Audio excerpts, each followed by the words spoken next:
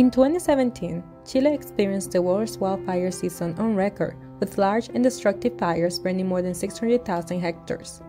Fires sustained biodiversity and prevented the dispersal of invasive species. However, Chile's mega fires pose a threat to the country's diverse ecosystems, unique biodiversity, communities, infrastructure, and economy. Over the 2017 fire season, 11 lives were lost and thousands of homes were destroyed. Due to the increased frequency and severity of wildfires, proper management and preparation is required. The Corporación Nacional Forestal, or CONAF, manages Chile's national parks, natural monuments, and oversees the monitoring, prevention, and response to wildfires.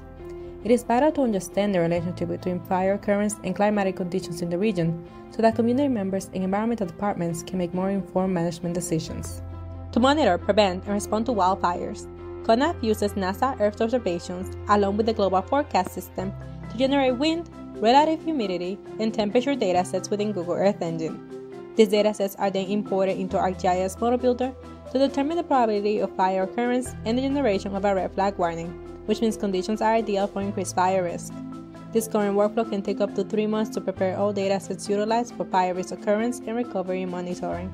To aid the monitoring of wildfires, the NASA DEVELOP team at the Jet Propulsion Lab has partnered with CONAF to automate the current wildfire detection system. CONAF's workflow relies on some manual efforts and they need these layers faster than they are producing them. The DEVELOP team used Earth observations such as Landsat 8 OLI, NASA SRTM, along with the Global Forecast System model, and create fire risk, fire severity, and burned area maps.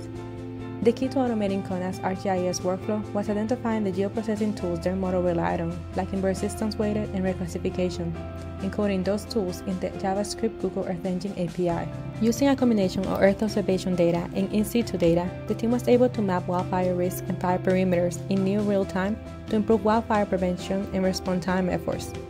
Results from this project could help identify vulnerable locations or potential wildfire prone areas where partner groups can conduct targeted field campaigns to gather additional validation data. The project results could increase fire resiliency in other countries outside of Chile that also face wildfire issues.